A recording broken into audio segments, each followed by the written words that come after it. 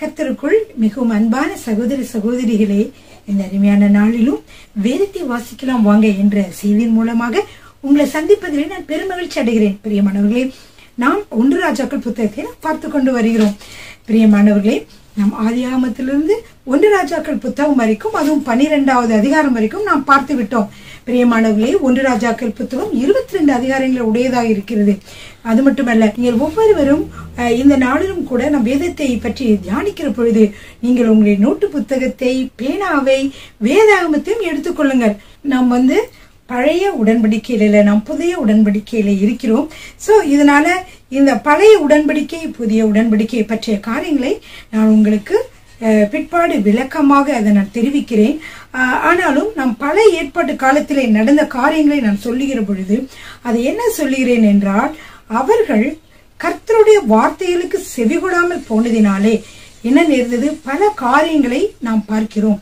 சாலமனுடைய வாழ்க்கையிலும் கூட கர்த்தர் அவனை மிகவும் நேசித்தாலும் பல காரியங்களை நன்மையான காரியங்களை அவனுக்கு தாளந்துகளையும் கொடுத்திருந்தாலும் கூட அவன் என்ன செய்து விட்டான் என்றால் பிற்காலங்களிலே கர்த்தருக்கு முக்கியத்துவம் கொடுக்காமல் அவன் மனமுடித்த பெண்களிட பெண்களுக்கே மிகவும் முக்கியத்துவம் கொடுத்ததினாலே அவன் வாழ்க்கையிலே எவ்வளவு வாழ்க்கையிலும் அரசியலிலும் அதாவது அவனுடைய அரசாட்சியிலும் எவ்வளவு சீர்கேடுகள் வந்தது என்று சொல்லி நீங்கள் அனைவரும் அறிந்திருக்கிறீர்கள். அவருடைய பிள்ளையாகிய ரெகோபயாம் வந்து ஆட்சிக்கு வர முடியாதபடிக்கு அதை வந்து அவர் வந்தாலும் அவருக்கு ரெண்டு கோத்திரங்கள் மட்டும் பத்து கோத்திரங்களை எரோபயாம் என்ற சாலமனுடைய ஊழியக்காரருக்கு கர்த்தர் கொடுத்தார் என்று சொல்லி பார்க்கிறோம் பிரியமானவர்களே. எனவே நம்முடைய வாழ்க்கையிலும் நாம் கர்த்தருக்கு பிரியமானவர்களாக அவருடைய சொல்படி அவருடைய சித்தத்தின்படி நாம் நடக்கிற வேலையிலே நம்முடைய வாழ்க்கையிலே எப்பொழுதும் சந்தோஷமும் சமாதானம் தான் பிரியமானவர். ஆனால் கர்த்தர் கூட நமக்காக ஒரு விசை என்ன ரெண்டு விசை கூட சோலமனுக்கு அவர் வந்து தரிசனமாகி சொன்னார். நீ இந்த மாதிரிலாம் செய்யக்கூடாது என்று சொல்லியும் அவர் கர்த்தருக்கு முக்கியத்துவம் கொடுக்காமல் அவருடைய வார்த்தைக்கு முக்கியத்துவம் கொடுக்காமல் அவர் வந்து பெண்களுக்கு அவர்கள் அவர்களோ அவருக்கு திருமணம் முடித்த பெண்களுக்கே அவர்கள் முக்கியத்துவம் அவர் முக்கியத்துவம் கொடுத்து அவருடைய வார்த்தையின்படியே நடந்ததினாலே அதுவும் தெய்வீக பெண்களாகவோ கர்த்தருடைய வார்த்தைக்கு கீழ்ப்படுகிற பெண்களாகவோ இல்லை. பெண்கள் என்றால் எல்லா பெண்களும் மனைவிகளும் சொல்றத கேட்கக்கூடாது என்று சொல்லவில்லை. திருமணம் அவர் முடித்திருந்தாலும் தேவனுக்கு சித்தமில்லாத தேவனை வழிபடா மற்ற பெண்களாக தேவனாலே நடத்தப்படாத அவருடைய ஆவியினாலே நடத்தப்படாத பெண்களாக இருந்ததினாலே அவர்கள் தேவனுக்கு விரோதமான காரியங்களை அவர்கள் சாலமனுக்கு கற்றுக் கொடுத்தார்கள் பிரியமானவர்கள். எனவேதான் சாலமனுடைய ராஜ்யமானது சரிந்தது என்று சொல்லி பார்க்கிறோம். எனவே பிரியமானவர்களே பாருங்க சாலமனுடைய கீழ்ப்படியாமையினாலே என்ன விளைவுகள் ஏற்பட்டது? அவனுடைய பிற்காலத்திலே அவர்களுடைய பிள்ளைகள் தான் பாதிக்கப்பட்டார்கள். சந்ததிகள் தான் பாதிக்கப்பட்டார்கள். எனவே நாம் கர்த்தருக்கு கீழ்ப்படிந்து நாம் வாழ்கிற வாழ்க்கையை நாம் சரியாக வாழ்கிற பொழுது கட்டாயமாக நம்முடைய பிள்ளைகள் அதனாலே பலன் பெறுவார்கள் பிரியமானவர்களே. ஹalleluya ஆமே சரிங்க பிரியமானவர்களே நாம் செய்திக்கு வருவோம். நான் சொன்னேன் இரண்டு இருபத்தி ரெண்டு அதிகாரங்களை உடைய இந்த ஒன்று ராஜாக்கள் புத்தகமானது இரு பெரும் பிரிவுகளை உடையதாக இருந்தது. ஒன்று ஐக்கிய அரசு இரண்டாவது பிளவுபட்ட அரசு. இந்த பிளவுபட்ட அரசுல வந்து பாத்தீங்கன்னா பத்து கோத்திரங்களை கர்த்தர் வந்து யாருக்கு கொடுக்க பத்து கோத்திரங்களை வந்து இஸ்ரேல் தேசம் என்றும் இரண்டு கோத்திரங்களை வந்து யூதா தேசம் என்றும் அங்க வந்து இஸ்ரேலுடைய தேசம் வந்து இரண்டாக பிளவுபடி பிளவுபடுகிறது. அதுக்கப்புறமாக என்ன ஆகிறது என்றால் இந்த இரண்டு கோத்திரங்கள் மட்டும் கொண்ட அந்த தேசம் யூதா தேசம் என்றும் பத்து கோத்திரங்கள் கொண்ட அந்த தேசமானது இஸ்ரவேல் தேசம் என்றும் அழைக்கப்படுகிறது பிரியமானவர்களே. இந்த இஸ்ரவேல் தேசத்தை கர்த்தர் யுரோபயாம் என்கிற சாலமனுடைய சாலமனுடைய வேலைக்காருக்கு கொடுத்தார். அதே போல சாலமனுடைய மகனாகிய ரெகோபெயாம் அவரை வந்து உங்களுக்கு எல்லாருக்கும் தெரியும் அவருக்கு இரண்டு கோத்திரங்களை கொடுக்கப்பட்டது பிரியமானவர்களே. அப்படி இருக்க இருக்கிற பொழுது நம்ம வந்து இந்த பிளவுபட்ட அரசை நம்ம பார்க்க போறோம். இதுல வந்து பிளவுபட்ட அரசை வந்து நம்ம ஆறு வகையாக பிரிக்கிறோம் பிரியமானவர்களே. ஒன்று ராஜ்யத்தின் பிளவு பனிரெண்டாவது அதிகாரம் முதல் பதினான்காவது அதிகாரம் வரை. அப்புறம் இரண்டாவதாக யூதாவை அரசாண்டு இரு அரசர்கள். அதை பற்றி பின்னாடி பார்க்கலாம். பதினைந்தாவது அதிகாரம். அதுல ஒன்றரை ஒன்று வசனத்திலிருந்து இருபத்தி நான்கு வசனங்கள் வரை. மூன்றாவதாக இஸ்ரவேலை அரசாண்டு ஐந்து அரசர்கள். இந்த பகுதியில வந்து பதினைந்தாவது அதிகாரம் இருபத்தி ஐந்தாவது வசனம் முதல் பதினாறாவது அதிகாரம் இருபத்தி எட்டு வரைக்கும். அப்புறம் ஆகாப் அரசரனுடைய அரசாட்சி. இஸ்ரேல் நாட்டிலே. அதை பற்றியதாக பதினாறாவது அதிகாரம் இருபத்தி ஒன்பதாவது வசனம் முதல் இருபத்தி ரெண்டாவது அதிகாரம் நாற்பதாவது வசனம் வரைக்கும் பார்க்கலாம். கடைசியிலே யூதாவில் யோசபாத்தின் அரசாட்சி. இதை இருபத்தி ரெண்டாவது அதிகாரத்திலே நாற்பத்தி ஒரு வசனம் முதல் ஐம்பது வசனங்களிலே யூதாவில் யோசபாத்தின் ஆட்சியை பார்க்கிறோம். அடுத்த ஆறாவது பிரிவாக இஸ்ரவேலிலே அகசிய அரசரினுடைய ஆட்சி. இது இருபத்தி ரெண்டாம் அதிகாரம் ஐம்பத்தி ஒன்று முதல் ஐம்பத்தி மூன்று வரைக்கும் நீங்கள் படிக்கலாம் பிரியமானவர்களே. சரிங்க? எல்லாரும் வேத புத்தகத்தை எடுத்துக்கொள்ளுங்கள் வேதத்தை நாம் பார்க்க போகிறோம் பிரியமானவர்களே. சரிங்க. பிரியமானவர்களே இந்த போன வீடியோல நான் என்ன சொன்னேன்னா ரெகோபயாம் ஒரு யூதாவை அரசாள்கிறார். ஆனால் பத்து கோத்திரத்தை அரசாண்ட எரோபயாமோ என்ன செய்கிறார் என்றால் அவருக்கு கர்த்தர் வந்து என்ன செய்தார்? ஆஹ், கிருபையாக அரசாட்சியை கொடுத்திருந்தார். ஆனால் அவர் அரசரான பிறகு அவருக்கு ஒரு பயம் வருகிறது. அந்த பயத்தை தான் ஆஹ், என்ன செய்தார் என்றால் யூதால தான் எருசலேம் தேவாலயம் இருக்கிறது. அங்கதான் இந்த பத்து கோத்திரத்து மக்களும் செல்வார்கள். அப்படி செல்கிற வேளையில ஒருவேளைக்கு அவர்கள் யூதா தேசத்தோடு சேர்ந்து கொண்டு என்னை கொன்று விட்டாலும் கொன்று விடுவார்கள் என்று பயந்து இரண்டு பொன் கன்று குட்டிகளை சேர்ந்து இரண்டு இடங்களை வந்து அவர் வைத்து கோயிலாக அதுங்க வந்து தேவனுடைய அது மட்டும் இல்ல ரெண்டு வச்சுட்டு பேர் அதுக்கு கொடுக்கல. என்ன சொன்னார்னா கர்த்தருக்கு பண்டிகை கொண்டாட வேண்டும் என்று அங்க போக வேண்டாம். இங்கே கர்த்தருக்கு பண்டிகை கொண்டாடுங்கள் என்று சொன்னார். பிரியமானவர்களே இது உங்களுக்கு வந்து யாத்திரையாம் புத்தகத்திலே நாம் பார்த்த ஒரு காட்சிக்கு ஒப்பாக இருக்கும் என்று நான் நினைக்கிறேன் பிரியமானவர்களே. அதனால்தான் கர்த்தர் இப்படி அவன் செய்ததை பார்த்து அவருக்கு மிகவும் மனம் வேதனையாக இருந்தது. அது மட்டுமல்ல இதற்காக அவர் வந்து என்ன செய்திருக்கலாம்? இங்கு தேவாலயத்தை கூட கட்டியிருக்கலாம். ஆனால் அதற்கு பதிலாக இரண்டு பொன் கற்று கன்று குட்டிகளை அங்க செய்து செய்து வைத்துட்டான் பிரியமானவர்களே. சரிங்க. இப்போ அவன் செய்ததுக்கு அப்புறம் என்ன நடந்தது? என்று பார்க்கலாம் பிரியமானவர்களே. இப்பொழுது நம்ம என்ன செய்கிறோம் என்றால் அந்த இந்த காரியத்தை பார்ப்பதற்கு முன்பாக சில வசனங்களை உங்களுக்கு சொல்ல விரும்புகிறேன். இவன் வந்து இரண்டு பொன் கற்று கன்று குட்டிகளை வைத்தது சரியா தவறா? அல்லது ஏன் அது கத்தருக்கு பிடிக்காமல் போனது என்று சொல்லி நாம் பார்க்கிறோம். பாருங்க யாத்திரையாமம் முப்பத்தி ரெண்டாவது அதிகாரம் ஒன்றிலிருந்து நான்கு வசனங்கள். மோசி மலையிலிருந்து இறங்கி வர தாமதிக்கிறதை ஜனங்கள் கட்டபோது அவர்கள் ஆரோனிடத்தில் கூட்டம் கூடி அவனை நோக்கி எகிப்து தேசத்திலிருந்து எங்களை அழைத்து கொண்டு வந்து அந்த மோசைக்கு என்ன சம்பவித்ததோ அறியும். ஆதலால் நீர் எழுந்து எங்களுக்கு முன் செல்லும் தெய்வங்களை எங்களுக்காக உண்டு பண்ணும் என்றார்கள். மோசே வந்து நாற்பது நாட்கள் மலையிலே கர்த்தரோடு பேசிக்கொண்டு கர்த்தர் கொடுக்கிற அந்த கட்டளைகளெல்லாம் வாங்கி கொண்டு வருவதற்காகவும் கர்த்தரோடு பேசுவதற்காகவும் சென்றார். உடனே இந்த மக்கள் இன்னும் வரவில்லை என்று அவர்களால் என்ன செய்ய முடியவில்லை? காத்திருக்க முடியவில்லை அவர்கள். ஆரோனை நோக்கி எப்படி என்ன ஆயிற்று? மோசிக்கும் தெரியவில்லை.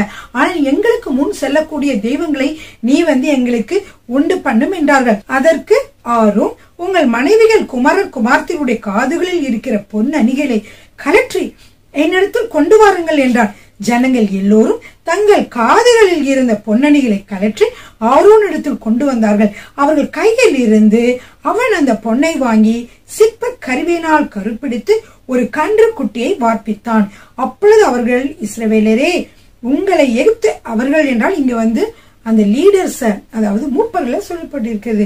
அப்பொழுது அவர்கள் இஸ்ரவேலரே உங்களை எகிப்து தேசத்திலிருந்து கொண்டு வந்த உங்கள் தெய்வங்கள் இவர்களே என்றார்கள். இப்ப இஸ்ரேல் இஸ்ரவேல் மக்களை பார்த்து இவர்கள் என்ன சொல்கிறார்கள்? பாருங்க இதுதான் உங்களை இஸ்ரேவேலிருந்து இருந்து கொண்டு வந்த தெய்வங்கள் என்று சொல்லுகிறார்கள் பிரியமானவர்கள் பாருங்க இந்த இஸ்ரேவேல் ஜனங்களுக்கு பார்த்தீர்கள் என்றால் எப்பொழுது பார்த்தாலும் அடிக்கடி ஞாபக சக்தி அவர்களுக்கு இல்லாமல் போய்விடும் பிரியமானவர்களே கர்த்தர் எகிப்து தேசத்திலிருந்து அவர்களை கொண்டு வர பத்து வாதைகளை செய்து என்னது அது எல்லாருக்கும் அந்த ஏத்து தேசத்துக்கே தெரிஞ்சிருக்கும். அப்படியே பல வாதைகளை செய்து இவர்களை மட்டும் பாதுகாத்து பாதுகாத்து இவர்தான் இவர்களை வழி நடத்துகிறார் என்று கர்த்தர் சொல்லி கர்த்தர் அவர்களுக்கு பலமுறை வந்து அவர்களோடு பேசியிருந்தார். அதே போல அவர்களை அழைத்து கொண்டு வருகிற பொழுதும் கூட செங்கடலிலே பாருங்கள் பிரியமானவர்கள் அழைத்து கொண்டு வருகிற பொழுது அங்கே இவர்களுக்காக செங்கலையே செங்கடலையே பிளந்து அவர்களை வந்து என்ன செய்தார்? நடத்தி கொண்டு சென்றார். பார்வனுடைய சேனை அதிலே மூழ்கி விட்டது என்று சொல்லி நாம் பார்க்கிறோம். இப்படிலாம் பல அற்புதங்களை செய்திருந்தோம். கர்த்தரை அவர்கள் மறந்து விட்டார்கள் பிரியமானவரே. வருகிற வழிகளும் கூட பிரியமானவர்களை கர்த்தர் அவர்களுக்காக எவ்வளவு நன்மைகளை செய்திருந்தார். பாருங்க அவங்களுக்கு வந்து மாறா மாறாவின் நீரை வந்து என்ன செய்திருந்தார்? அவர் வந்து கசப்பான நீரை வந்து மாற்றியிருந்தார் அவர்களுக்கு சாப்பாடு இல்லாமல் வனாந்தரத்தில் அலைந்த அலைந்த பொழுது அவர்களுக்காக என்ன செய்திருந்தார் என்றால் உங்களுக்கு எல்லாருக்கும் தெரியும் அந்த மன்னாவை அவர்களுக்கு ஒவ்வொரு நாளும் கொடுத்து அவர்களை ஆசீர்வதித்திருந்தார். இப்படியாக அவர்கள் தண்ணீரோடு தாகத்தோடும் இருக்கிற பொழுது கூட அவர்களுக்காக வந்து கண்மலையிலிருந்து தண்ணீரை வரவழைத்தார். அப்படி நடத்தி வந்த தேவனை அவர்கள் மறந்து விட்டார்கள். அவர்கள் எல்லாரும் என்ன சொல்கிறார்கள் என்றால் எங்களை எகிப்திலிருந்து கொண்டு வந்த தேவன் யார்? கன்றுக்குட்டிகளை செய்து அதை சொல்றாங்க இதுதான் உங்களை உங்களை எகிப்து தேசத்திலிருந்து கொண்டு வந்தது என்று சொல்லி மூப்பர்கள் எல்லாம் சொல்லுகிறார்கள் என்று சொல்லி பார்த்தோம். இப்படியாக தேவன் என்னென்ன செய்தார்? யார் அவர்களை வனாந்து எழுத்து தேசத்திலிருந்து அழைத்து வந்தார் என்று சொல்வதே அவர்கள் மறந்து விட்டார்கள் பிரியமானவர்களே. அப்படியாக நாம் இருக்கக்கூடாது. நம்மை ஆரம்பத்திலே கர்த்தர் அழைத்த விதத்தை நாம் நினைவு கூற வேண்டும். நம்மை ஆரம்பத்திலே கர்த்தர் புதிதாக நம்மை அழைத்த பொழுது அவர் நமக்கு என்னென்ன நன்மைகளை செய்தார் எப்படிலாம் நம்மளை விடுதலை செய்து கொண்டு வந்தார் என்பதை நாம் காலங்கள் கடந்த பொழுதும் நாம் மறக்கக்கூடாது பிரியமானவர்களே. எப்பொழுதும் அதை நாம் நினைவில் வைத்துக் கொள்ள வேண்டும். சரிங்க பிரியமானவர்களே. இப்ப பாருங்க ஒன்று ராஜாக்கள் பதிமூணாவது அதிகாரத்துல நம்ம வாசிக்க போகிறோம். ஒன்று ராஜாக்கள் பதிமூணாவது அதிகாரம் ஒன்றாம் வசனம் இரண்டாம் வசனம். எரோபயாம் தூபம் காட்ட பலிபி பலிபிட தண்டையில் நிற்கல். எங்க? எரோபியாம் வந்து இந்த பொன் கன்று குட்டிகளை செய்தாரு அங்க இருக்க தூப அங்க இருக்க பலிபீடத்துல தான் போய் நிக்கிறாரு தூபம் காட்டுவதற்காக. யெரொபெயாம் தூபம் காட்ட பலிபீட தண்டிலேயே நிற்கையில் இதோ தேவனுடைய மனுஷன் ஒருவன் கர்த்தருடைய வார்த்தையின்படியே யூதாவிலிருந்து பெத்தேலுக்கு வந்து ஏன் யூதாவிலிருந்து பெத்தேலுக்கு வந்திருக்கிறாரு? அப்படின்னா யூதா தேசத்துல தான் எருசலேம் ஆலயம் இருக்கிறது. அங்குதான் கர்த்தரை வழிபட்டு கொண்டிருந்தார்கள். அப்படிப்பட்ட ஒரு இடத்தில் இருந்து கர்த்தர் என்ன செய்கிறார்? நீ இஸ்ரவேலுக்கு போ என்று சொல்லி அனுப்புகிறார் ஏனென்றால் இஸ்ரவேலிலே என்ன நடக்கிறது? பலிபீடங்கள் கட்டப்பட்டு அதிலே பொன் கன்று குட்டிகளை வைத்து அது அதற்கு பலிபீடத்தில் என்ன செய்ய போகிறார்கள் தூபம் காட்ட போகிறார்கள். எனவே இப்படி நடந்து கொண்டிருந்ததுனால யூதாவிலிருந்து தேவனுடைய மனுஷன் ஒருவனை கர்த்தர் வந்து அனுப்பினார். அப்படியே அவன் வந்து கர்த்தர் சொன்ன வார்த்தையின்படி அவன் வந்து அந்த பலிபீடத்தை நோக்கி பலிபீடமே பலிபீடமே இதோ தாவிதின் வம்சத்தில் யோசியா என்னும் பேருள்ள ஒரு குமாரன் பிறப்பான். அவன் உன்மேல் தூபம் காட்டுகிற மேடைகளின் ஆசாரியர்களை உன்மேல் தூபம் காட்டுகிற மேடைகளின் ஆசாரியர்களை உன்மேல் பலியிடுவார். மனுஷரின் எலும்புகளும் உன்மேல் சுட்டரிக்கப்படும் என்பதை கர்த்தர் உரைக்கிறார் என்று கர்த்தருடைய வார்த்தையை அவன் கூறுகிறான் பிரியமானவர்கள். இப்படியாக கர்த்தர் சொல்லுகிறாரு இந்த பலிபீடத்துல நீங்க பலிபீடத்துல நீங்க வந்து பலியிடுவது அல்லது தூபம் காட்டுவதெல்லாம் எனக்கு மிகவும் அருவறுப்பாக இருக்கிறது. இந்த பலிபீடத்தை அழிக்க ஒருவன் வருவான். யோசியா என்ற ஒரு மன்னன் வந்து அவன் என்ன செய்வான் என்றால் இந்த பலிபீடத்துல வந்து ஏழு மனுஷன் எழும்பல கூட சுட்டரிப்பான் என்று சொல்லி கர்த்தர் வந்து அந்த கோபமாக அங்க சொல்லுகிறார். அதற்கு அப்புறம் பார்த்தீர்கள் என்றால் அந்த எரோபியாம் என்ன பண்ணுகிறான் என்றால் திரும்பவும் திரும்பவுமாக அப்படி சொல்ல பொழுதும் கூட அவன் அதற்கு கீழ்ப்படியவில்லை. அவன் உடனே என்ன செய்தான் என்றால் சொல்ல சொன்ன அந்த வார்த்தைகளை சொன்ன அந்த தேவனுடைய மனுஷனை பார்த்து இவனை பிடியுங்கள் என்று கையை நீட்டினான். இப்படி கையை நீட்டின உடனேயே பிரியமானவர்களே அவனுடைய கை திரும்பவும் எடுத்துக்கொள்ள முடியாதபடிக்கு அப்படியே என்ன ஆகிவிட்டது? அப்படியே வந்து உறைந்து விட்டது பிரியமானவர் அதாவது அப்படியே கை வந்து நீட்டப்பட்ட விதமாகவே ஆகிவிட்டது. அது திரும்பமாக அவனால் எடுக்க முடியவில்லை. அப்படிப்பட்ட ஒரு சூழ்நிலை சூழ்நிலையில் இருக்கிற பொழுது மன்னன் மிகவும் கலங்கினான். சொன்னான் ஐயோ தேவனுடைய மனுஷன் எனக்காக ஜெபம் பண்ண என்னுடைய கை முன் முன் முன்மாதிரி ஆகட்டும் என்று சொன்ன உடனே அந்த கை வந்து திரும்பவும் ஆகும்படியாக கர்த்தர் உதவி செய்தார் பிரியமானவர்களே சரிங்க எல்லாரும் எடுத்துக்கொள்ளுங்க ஒன்று ராஜாக்கள் பதிமூணாவது அதிகாரம் ஒன்றிலிருந்து இரண்டு வரைக்கும் வாசித்தேன் இந்த பதிமூணாவது அதிகாரத்திலேயே ஒரு சில வினோதமான காரியங்கள் நடைபெறுகிறது. அதை பார்ப்போமா பிரியமானவர்களே இப்ப தூபம் காட்ட எரோ எரோபியம் இருக்கும்போது யார் வரா? யூதா யூதாவிலிருந்து ஒரு தேவனுடைய மனுஷன் வருகிறார். அவர் வந்து கர்த்தர் சொன்ன வார்த்தைகளை உரைக்கிறார். அப்பொழுது வந்து சொல்லி அன்றைய தினமே அவன் ஒரு அடையாளத்தை சொன்னான். என்ன அடையாளம்னா அன்றைய தினம் அவன் ஒரு அடையாளத்தையும் சொல்லி இதோ இந்த பலிபிடம் வெடித்து இதன் மேல் உள்ள சாம்பல் கொட்டுண்டு போகும். கர்த்தர் உரைத்ததற்கு இதுவே அடையாளம். இந்த வார்த்தை கர்த்தரிடமிருந்து தான் வந்ததா என்று நீங்கள் நினைக்க வேண்டாம். அப்படி நினைத்து வேண்டாம். அதற்கு அடையாளம் என்னவென்றால் இந்த பலிபீடமானது சிதறி அதில் இருக்கிற சாம்பல் எல்லாம் கீழே கொட்டி போகும் என்று இந்த தேவனுடைய மனுஷன் தீர்க்க தரிசனம் சொல்லுகிறார். அப்பொழுது என்ன நினைக்கிறது. இதை கேட்ட தேவனுடைய மனுஷன் கொண்ட வார்த்தையில் ராஜாவை இரவியம் கேட்ட பொழுது அவனை பிடியுங்கள் என்று தன் கையை பலிபீடத்திலிருந்து நீட்டினான். அவனுக்கு விரோதமாய் நீட்டின கை தன்னிடமாக முடக்க கூடாதபடிக்கு அது மறுத்து போயிற்று என்று சொல்லி பார்க்கிறோம் பிரியமானவர்களே அடுத்ததாக பாருங்க தேவனுடைய மனுஷன் கர்த்தருடைய வார்த்தையால் குறித்திருந்த அடையாளம் அடையாளத்தின்படி பலிபீடம் வெளுத்து சாம்பல் பலிபீடத்திலிருந்து கொட்டுண்டு போயிற்று. அப்பொழுது ராஜா தேவனுடைய மனுஷனுக்கு பிரதித்திரமாக இதெல்லாம் நடந்தோன்னா அந்த ராஜா வந்து பயந்துட்டான். அவன் என்ன செய்யறானா நீ உன் தேவனாய் கர்த்தருடைய சமூகத்தை நோக்கி வேண்டிக் கொண்டு என் கை முன்போல் ஆய் இருக்கும்படிக்கு எனக்காக விண்ணப்பம் பண்ண வேண்டும் என்றான். அப்பொழுது தேவனுடைய மனுஷன் கர்த்துடைய சமூகத்தை நோக்கி வருந்தி விண்ணப்பம் செய்தான். ராஜாவின் கை முன்னிருந்த இருந்தபடியே சீர்பட்டது. இப்பொழுது ராஜா என்ன செய்யறார் அந்த மனிதனை பார்த்து ரொம்ப சந்தோஷமாக வா என்னோட வா என்னோட வந்து இன்னைக்கு என்னோட வீட்டுல இழைப்பாரு என்று சொல்கிறார். ஆனால் அவன் என்ன சொல்கிறான்? என்றால் அவரை நோக்கி நீர் எனக்கு உம்முடைய வீட்டில் பாதி கொடுத்தாலும் எனக்கு வேண்டாம் அது மட்டும் இல்ல நான் உம்மோடு வருவதும் இல்லை. ஏன்னா அது மட்டும் இல்ல இந்த வந்து இந்த ஸ்தலத்தில் என்ன த- அப்பம் புசிப்பதும் இல்லை தண்ணீர் குடிப்பதும் இல்லை என்று சொன்னான். ஏனென்றால் ஆண்டவர் அவனிடம் ஒன்று சொல்லி இருந்தார் என்ன சொல்லி இருந்தார் நீ அப்- எ- ஒன்பதாவது வசனத்துல நீ அப்பம் புசியாமலும் தண்ணீர் குடியாமலும் போன வழியாய் திரும்பாமலும் இரு என்று கர்த்தர் தம்முடைய வார்த்தையால் எனக்கு கட்டளையிட்டு இருக்கிறார் என்று சொல்லி அந்த ராஜா கிட்ட சொல்லிட்டு அவன் பெத்தேலுக்கு வந்த வழியாய் திரும்பாமல் வேறு வழியாய் போனான். ஆனால் இது வந்து ஒரு கிழவனான ஒரு தீர்க்கதரிசி இஸ்ரேல இருக்க ஒரு தீர்க்கதரிசி பார்த்துக்கிட்டே இருந்தான். அவன் என்ன செஞ்சானா அவனுடைய ச- பிள்ளைங்கள்ட்ட சொல்லி எனக்கு வந்து நான் போய் அந்த தீர்க்கதரிசியை போய் நான் மீட் பண்ண போறேன். இன்னமும் எவ்வளவோ பிரச்சனைகள் நிறைந்ததாக இப்பொழுது நாடு இருக்கிறது. ஏன்னா எல்லாத்துக்கும் காரணம் வந்து அந்த கன்றுக்குட்டிகளை வழங்க வணங்கினதுனால தான் ஆனால் அவன் என்ன நினைக்கிறான்? என்ன காரணம் தெரியல. இந்த தீர்க்கதரிசி வந்திருக்காரு. இவர்கிட்ட போய் நம்ம எப்படி அதை கேட்டுக்கலாம் என்று சொல்லி நினைத்து கொண்டு இர ச- அவங்களுடைய குமாரனை சொல்றான் எனக்கு வந்து சேனம் கட்டி கொடுங்க கழுதையில அந்த வச்சு நான் போய் என்ன செய்யறேன் அவன் கழுதை மேல ஏறி நான் போய் பார்த்துட்டு வந்துடுறேன்னு. அப்போ வேகமா அந்த அப்பா போகும் பொழுது அங்க வந்து தேவனுடைய மனுஷன் போயிட்டு இருந்தார் இல்லையா? அந்த தீர்க்கதரிசி. அவர் வந்து ஒரு கர்வாலி மரத்தாண்டையில நிக்கிறத பாக்குறார் பார்த்த உடனே அங்க போய் அவர் கேட்கிறாரு யூதாவிலிருந்து வந்த தேவனுடைய மனுஷன் நீர்தானா? என்று அவனை கேட்டதற்கு அவன் நான் தான் என்றான். அப்பொழுது அவனை நோக்கி என்னோட வீட்டுக்கு வந்து அப்பம் புசியும் என்றான். அதற்கு அவன் நான் உம்மோடே திரும்பவும் உம்மோடே உள்ள போகவும் மாட்டேன். இந்த ஸ்தலத்திலே உம்மோடே நான் அப்பம் புசிக்கவும் தண்ணீர் குடிக்கவும் மாட்டேன். ஏனென்றால் ஆண்டு என்ன சொன்னார்? அப்பம் புசியாமலும் தண்ணீர் குடியாமலும் நீ போன வழியை திரும்பாமலும். மூணு காரியத்தை ஆண்டு சொல்லியிருக்காரு அப்படின்னு சொல்லி சொல்றான்.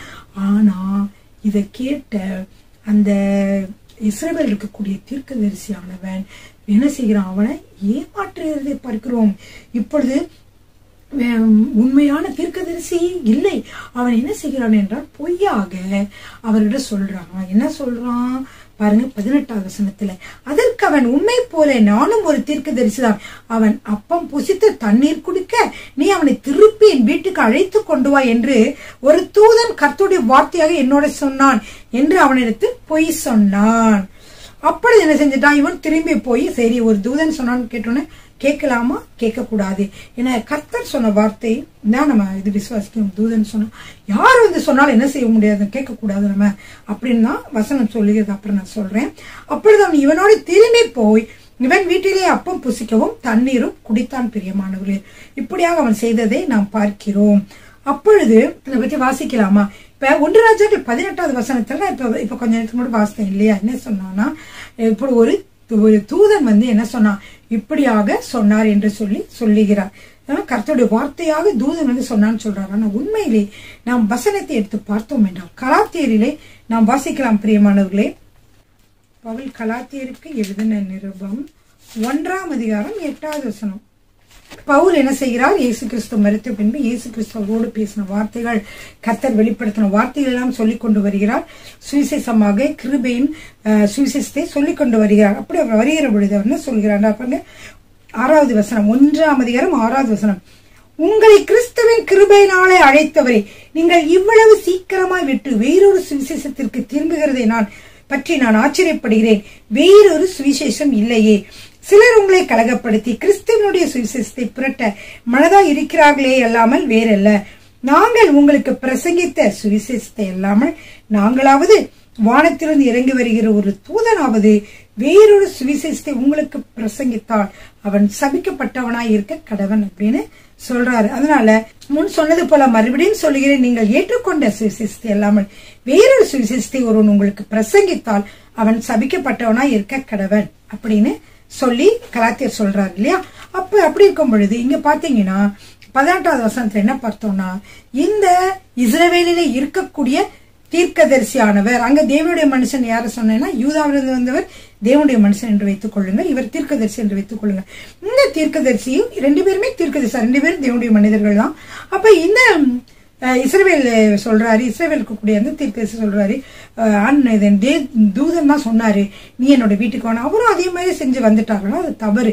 அதனால அவர் பின்னாடி என்ன ஆகுதுன்னா இருபதாவது வசனத்திலே அவர்கள் பந்தியில் உட்கார்ந்து இருக்கிற பொழுது அவனை திருப்பி கொண்டு வந்த தீர்க்கதரிசிக்கு கர்த்தருடைய வார்த்தை உண்டானதினால் அவன் யூதாவிலிருந்து வந்த தேவனுடைய மனுஷனை பார்த்து சப்தமிட்டு உன் தேவனாகிய கர்த்தர் உனக்கு கற்பித்த கட்டளை நீ கை கொள்ளாமல் கர்த்தருடைய வாக்கை மீறி இப்ப இது யார் சொல்றான் தூதன் சொன்னானே என்று பொய் சொன்னான் இல்லையா?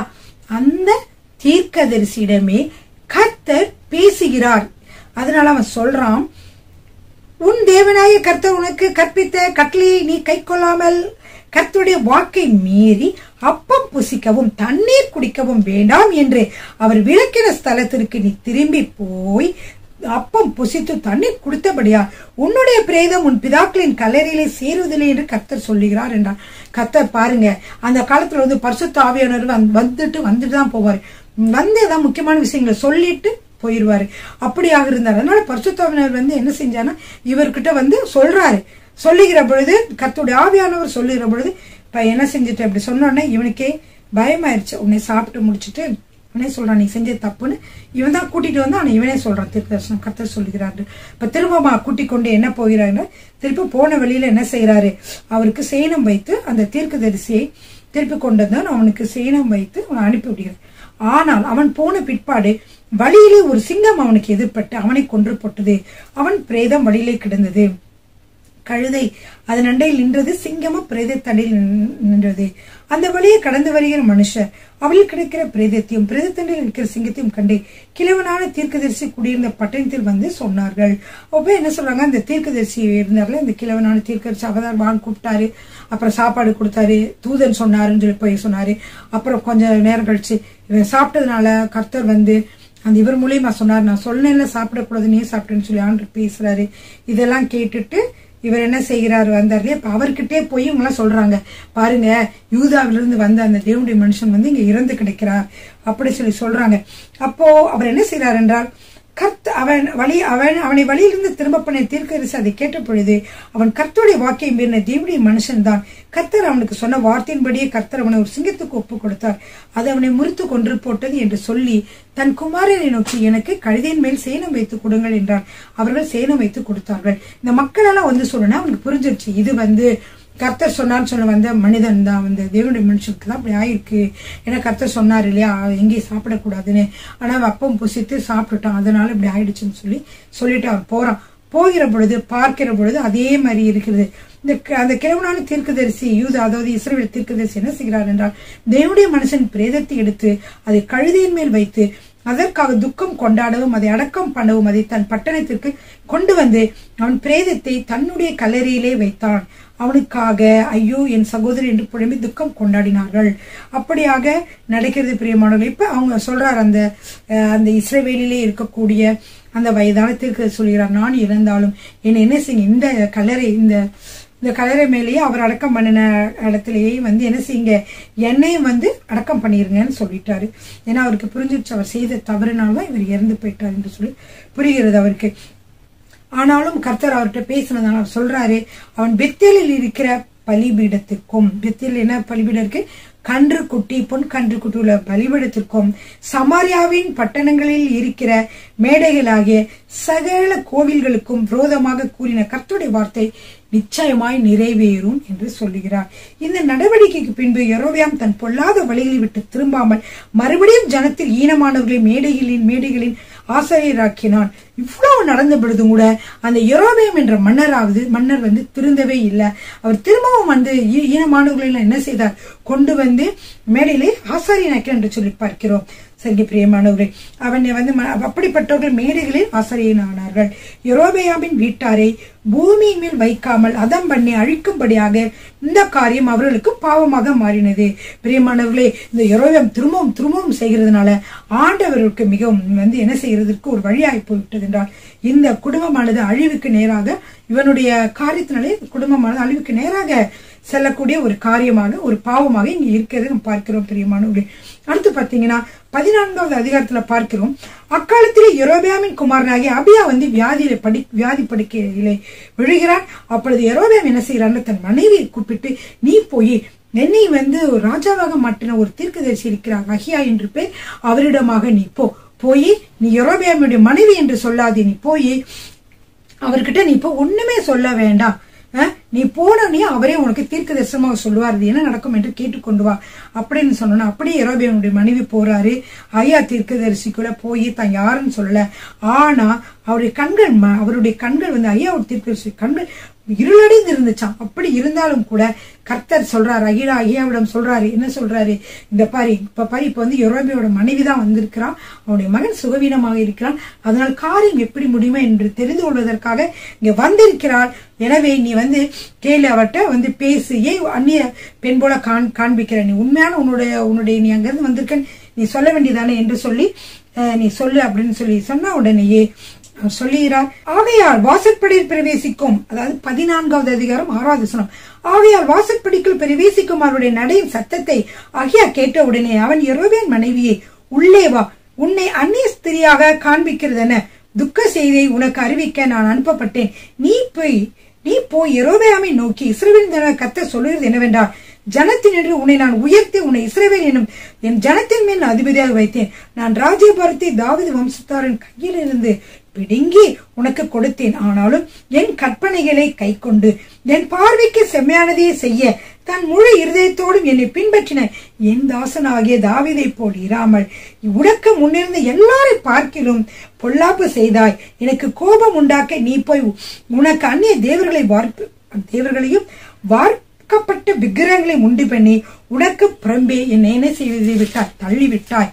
அதனால ஆகையால் இதோ நான் எரோபியாமுடைய வீட்டின் மேல் பொல்லாப்பை வரப்பண்ணி எரோபியாமுக்கு சுவர் மேல் நீர்விடும் ஒரு நாய் முதலாயிராதபடிக்கு இஸ்ரேலிலே அடைப்பட்டவனையும் விடுபட்டவனையும் சங்காரம் பண்ணி குப்பை கழித்து போடப்படுகிறது போல எரோபியாமின் பின்னடியாரை அவர்கள் கட்டோடே அற்று போகும்படி கழித்து போடுவேன் என்கிறார்.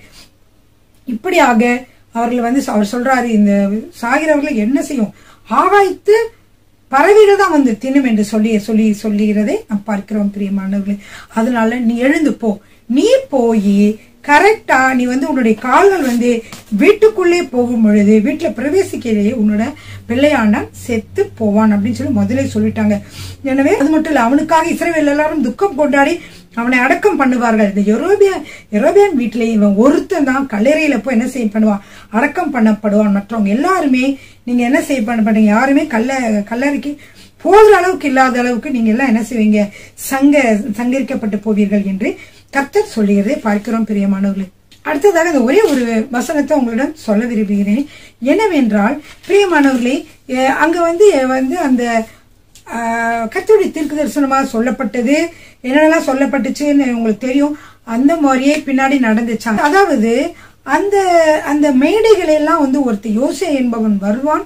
அவன் தாவிதன் வம்சத்துல வருவான். என்ன செய்வான் அவன் அந்த மேடைகள் எல்லாம் உடைத்து போடுவான் என்று சொல்லி சொல்லப்பட்ட முன்னூத்தி சொல்லப்பட்ட தீர்க்க தரிசனமானது முன்னூத்தி ஐம்பது வருடத்திற்கு பிற்பாக பிற்பாடு வந்து அது நிறைவேறினது. அது இரண்டு ராஜாக்கள் இருபத்தி மூன்றாவது அதிகாரம் பதினைந்தாவது வசனத்தில் வாசிக்கலாம்.